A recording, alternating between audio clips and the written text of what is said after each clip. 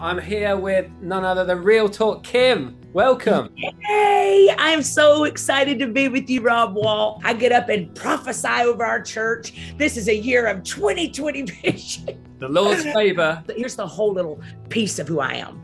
I lost everything at 36 years old. I've been married for 18 years uh, to the love of my life, my son's father. Thought I would never, I could never make it without him. And uh, sin took us further than we wanted to go, cost us more than we wanted to pay, and we lost our marriage in 18 years after 18 years of marriage. And so I had to move back in with my mom and dad. I didn't start full time ministry till I was 40. Didn't write my first book till I was 42, and now I'm 49 years old, and I realized my life is just beginning. I had to really hit rock bottom and find out who the rock was at the bottom, which was Jesus. The enemy doesn't need to destroy you if he can distract you, right? Woo!